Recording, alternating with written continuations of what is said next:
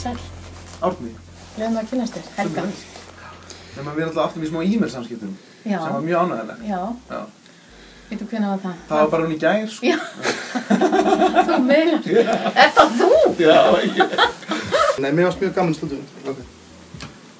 Og hérna, ég er nú vanur að vera í stúdíu. Já, já. Þú voru að taka Ég ger, ég ger 23 lög. Þú þrjú lög. Já. Ok. Það er mjög slæði gott, sko. En þið þurft að taka þarna á annan level. Gott, sko. Ég segi það, ég er nú bara eina, hvað, 15? Hvað fer þetta þá hátt upp? Það, við bara fljúum hér út, sko. Það er ekki.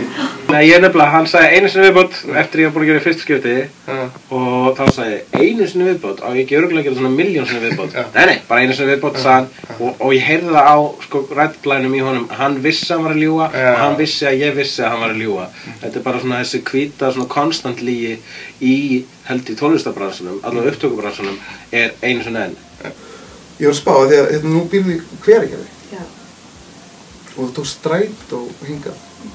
Hvað er það löng ferð?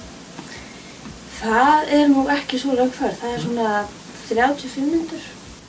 Herru, en þú hefur samt verið alltaf svona fyrir UNICEF. Já. Ha, hvernig, er, getur UNICEF bara alltaf hringt í þig og beðið þig um að gera hvað sem er? Já. Af því við vorum að tala um það, sko, að röddinn þín, hún er mjög skemmtileg. Og þegar þú varst að- syngja, sko, að hérna, þá er hún ofta eins og hún, sko, þú veist, eins og hún sé jafnvel svona al- alveg að bresta eitthvað veginn Já, já, og maður sjálfur er að fara að bresta í grát. Er, notar mikið svona autotune, eða? Já. Ég er mjög falskur. Ef ég þarf að syngja, sko. Já, já, já.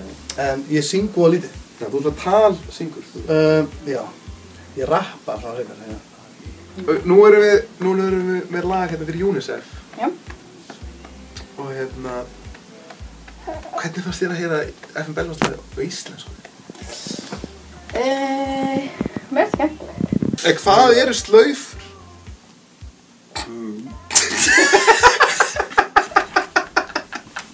Ég hlustaði að lagið, síðan var ég með að heilanum í 6 klukktíma, Já. svo kom ég hingað. Þú eru sofið þinn, já?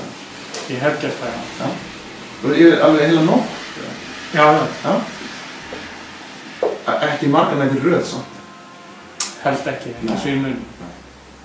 Þetta var svo fínt sko, þetta því að strætó var komið með internet. Já, einmitt. Þannig að ég var með hérna tölvuna og var að, að, að síkja með því svona, hum, humma það svona. Þannig að náður að æfa þig í strætó. Já, Reverb, delay, reverb, delay, autotune, kompression og allir, allir þessir svona helstu effektar sem að hægt er að beita á vonda rættir sko. Gætur þú sagt þessu orð á íslensku núna? Uh, Takk fyrir komin. Takk svo með þessu. Það er svo byndið að við báðum tekið í höndur og snorra.